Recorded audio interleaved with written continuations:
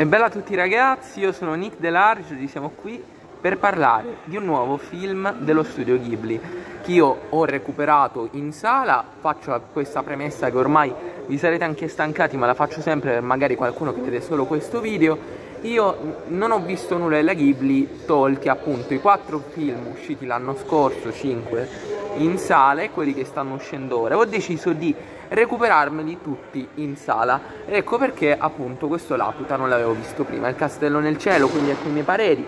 Potete recuperare i pareri sulla città incantata, Nausicaa, Mononoke, Porco Rosso, il castello errante di Aul, Kiki consegna a domicilio e Pony. Adesso di questo, quindi partiamo senza perderci in convenevoli parlando di questo film che è uno dei primi film della, della Ghibli assieme a Nausicaa che non sapevo appunto che aspettare. Perché a me la formula Ghibli piace al 50 e 50 mi piace l'idea della Ghibli di ritrarre appunto il, eh, il mondo del bambino infantile con queste creature magiche con una delicatezza tale che non possono neanche gli studios americani. Quindi questo mondo meraviglioso con gli stilemi classici un'animazione che indipendentemente che se il film mi piaccia o meno è davvero una roba meravigliosa. Io comunque quando vado a vedere un film della Ghibli in sala so sempre che rimarrò a bocca aperta per qualcosa, perché appunto l'animazione, l'estetica sono delle robe bellissime, delirantemente belle. L'altro problema per me è che a volte questo va a sostituire la sostanza di un film, quindi sinceramente ho paura per questo il castello nel cielo, per quanto Nausicaa comunque che avesse più trama era davvero brutto ma vi posso dire che a me questo Laputa, il castello del cielo, è piaciuto molto. È un film d'avventura con tutti i crismi, scritto bene e con dei personaggi davvero interessanti. Di cosa parla questo Laputa, il castello del cielo? Questa ragazzina si ritrova con una pietra che riesce a far volare, ecco, e che può essere la chiave per trovare un, un'isola, questo castello volante, appunto quello del vecchio regno di Lapiuta, Laputa. Sinceramente non, non ricordo bene come si accentuasse il, la parola, però comunque è che quindi è braccata da più persone, dall'esercito, da dei pirati, che sono una famiglia di pirati con tutti i figli e la madre che li capita e appunto poi dall'altra parte c'è questo ragazzino di campagna che la troverà e l'aiuterà a scappare da questi uomini a capire chi è lei veramente. Una persona che io conosco, la Sarkainam, appunto che ha visto il mistero della pietra azzurra mi ha detto che è lo stesso incipit, è una cosa molto simile. In generale avendo visto Evangelion noto che Hideaki Anno si è ispirato molto anche per certe scene per certi pezzi. È un film d'avventura fatto davvero bene. Partiamo da quello che è incontestabile, l'estetica che è molto molto bella e affascinante. Si vede che una Ghibli dagli inizi non è sensazionalistica, è semplice ma è davvero eh, resa benissimo. Basti pensare alle scene di volo che sono bellissime, ma anche c'è una scena di tempesta che è assurda, ne parliamo meglio in parte spoiler Dura due ore, dura più rispetto ad altri film della Ghibli, forse quello che dura di più rispetto a quello è solamente per ora è Mononoke. Però volano proprio perché c'è sempre qualcosa che succede ed è proprio il contrario di robe, che ne so, come Pony in cui non succede davvero un cazzo. Qui invece succede. Ci sono degli stilemi che sono molto classici, quello del femminismo che è reso anche qui molto bene con la madre che capita, eh, fa da capitano, scusate, ho avuto questo lapsus, fa da capitano ai figli che appunto sono tutti accondiscendenti e lei che appunto eh, si ritroverà a essere diciamo l'antagonista del film, ecco in parte non spoiler possiamo parlarne in questo modo. E in generale comunque l'avventura che è affascinante, ci sono gli esserini classici della Ghibli, c'è un easter egg a Nausicaa peraltro c'è uno che è identico c'è un robot, c'è questa sensazione di mistero sul passato della ragazza e c'è anche questa meraviglia del mondo. È un protagonista, quello che abbiamo qui, maturo, che vuole andare verso l'avventura, che vuole spingersi ed è davvero affascinante questa cosa perché è un film che riesce a coinvolgere, specialmente nel finale, che è davvero bello e ha un antagonista che è ottimo, fa anche paura e ha delle ottime motivazioni. Quindi per me questo Laputa, io chiuderò velocemente in parte no spoiler per poi gettarmi meglio nella parte spoiler perché lì credo ci sia un po' di più da dire. È davvero un film bello bello che rivedrei tranquillamente, pieno d'avventura, frizzante, simpatico, ha le sue cadutine ovviamente per gettare la battuta, per far ridere i bambini, come è giusto che sia, perché è un film rivolto specialmente prima a loro, però il bello del cinema d'animazione, ed è lì che io lo premio come ho premiato Spider su altri, è quando riesce a essere adatto ai bambini ma anche appunto più maturo. Non cerchiamo a tutti i costi che ne so un perfect blue. Però comunque questo è un film che un bambino può tranquillamente vedere, ma che anche un adulto può tranquillamente vedere senza sfracellarsi le palle, come può essere un Turning Red per dire. Quindi, chiudo questa parte non spoiler consigliandovi di vederlo, dicendo che è un film che a me è piaciuto molto e quindi lo metto tra i film della Ghibli che mi sono piaciuti. E quindi adesso direi di iniziare a parlare un po' più con spoiler. Partendo, da cosa partiamo? Va eh, ecco, i cattivi. Pri- nella prima parte i cattivi sono prevedibilmente definiti come appunto questi bracconieri del cielo, un po' in realtà come stava anche in Porco Rosso, che è il mio film preferito della Ghibli finora. E quindi tu dici, vabbè, sono loro, sono quei cattivi un po' sciocchini, perché c'è, sono, c'è la solita gag ripetuta di figli che non sanno fare nulla, arriva la madre, ah, in piastri ci penso io e fa tutto la madre. Ed è comunque resa bene per quanto siano quei nemici un po' più comici. E dall'altra parte c'è l'esercito da questo generale che Anna che è appunto la protagonista che sembra cattivo ma non, in, non sempre non proprio in fondo. Sembra che si muova più che altro per aiutare a sconfiggere questi pirati ed è interessante questa dinamica, che poi alla fine tutto si spezza, tutto viene mostrato. È lui il cattivone, è lui un parente, un discendente anche della, di Lapiuta e vuole ottenerlo. E per me è reso benissimo.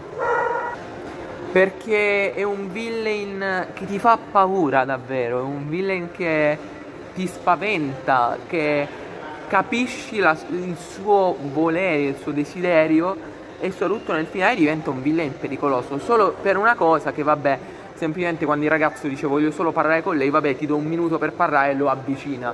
Inconscio del fatto che potrebbe fare qualunque trucchetto tranquillamente però vabbè quella è una forzatura che mi ha un po' infastidito però tutto sommato ci passi davanti quando hai un film così bello. E il punto è che eh, c'è, è, è bello che poi cambia, si capovolge un po' tutto, cioè i pirati diventano amici.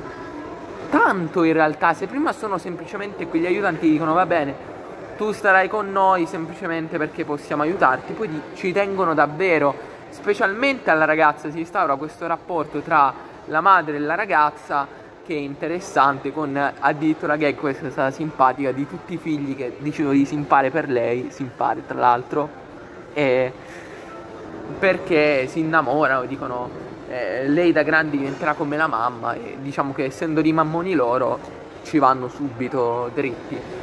Un'altra cosa che mi è piaciuta molto è l'idea del, dei robot, ecco, c'è quest'idea, del, questa parte del robot caduto per terra che è davvero Adam di Evangelion, la scena di introduzione è la medesima, ma in generale c'è è un'inventiva anche il fatto che ci siano diversi robot in diverse condizioni, il fatto che questo Laputa sia stato abbandonato, i robot abbiano sempre servito la natura.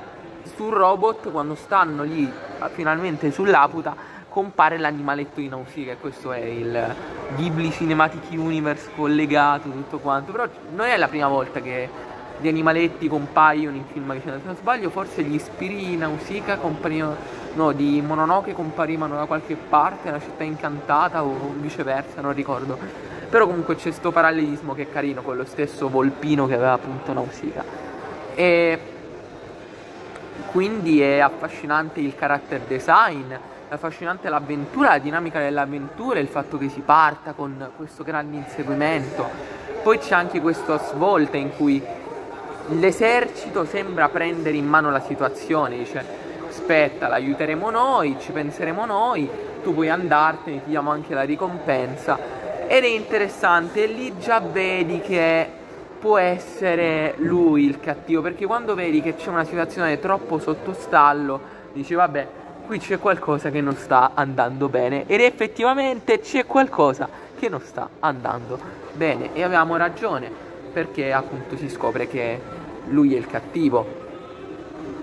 La, la lore, ecco, la mitologia di questo Laputa anche è fatto molto bene perché ci viene mostrato appunto ci vengono introdotti tutti questi personaggi tutto questo regno attorno circostante che è molto ma molto bello e tutto questo diciamo background, tutta la backstory del protagonista che vede il padre che è la città, infatti c'è quella scena nella, nella tempesta che è bellissima anche solo per animazione, che mischia varie tecniche d'animazione, quindi comunque è avanti per, per il periodo, ci sono dei bei punti e come ho detto ci sono dei personaggi ai quali ti affezioni e questa è una cosa importantissima.